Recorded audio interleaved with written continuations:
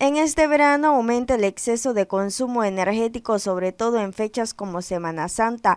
A la fecha, Consultoría del Gestor al Consumidor contabiliza 15 reclamos por exceso de consumo en el mes de diciembre. Porque incrementa también lo que es la temperatura ambiente, o sea, hay más calor para esta época y el calor hace que la gente ocupe con mayor tiempo los abanicos previo a una falta de mantenimiento de las redes internas de las personas dentro de su vivienda, que también hace que el exceso de consumo se le dispare. No es que haya aquello que decimos popularmente eh, alteración de la factura, no.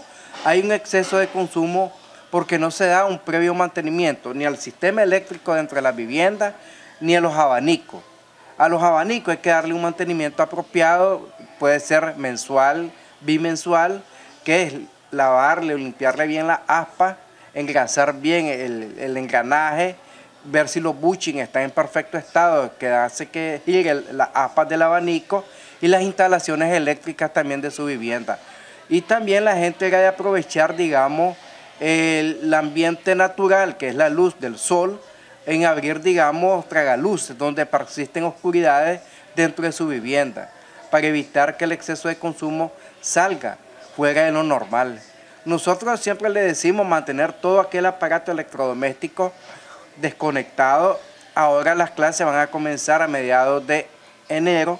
Esto hace que el consumo baje de energía eléctrica porque ya los niños y los jóvenes no van a estar en la casa mucho tiempo. Entonces viene un proceso de reducción de consumo y esto tiene que aprovecharlo la población en general.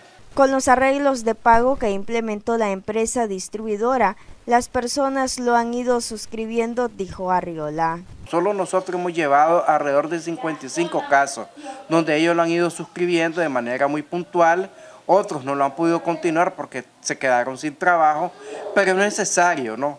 De que hagamos conciencia que cuando suscribimos un arreglo de pago es un compromiso, no solamente con la empresa distribuidora, sino que consigo mismo porque también va saliendo de una deuda que se le está buscando un, fin para comenzar de un nuevo proceso.